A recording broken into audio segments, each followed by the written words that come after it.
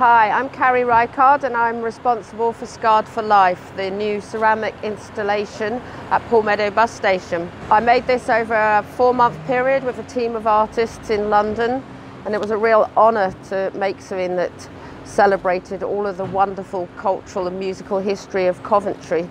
Um, we included over 90 stars that were made by local school children which was incredible to do during a COVID time. All of these stars were made by the Frederick Bird Primary School and the others were made by St Mary's and St Benedict's Catholic Church. We were made over a day with the kids. They all got to decide what they wanted on their special stars and it was really fantastic to be able to include local school children's finished work in the completed mural. Really important for me to be able to put the history of two-tone into context and to be able to explain how incredibly important Coventry was for promoting a form of music that was all about being multiracial and about black and white people coming together and celebrating music. And so if you look at all the detail, I've really tried to put the story of Two Tone into some political and social context.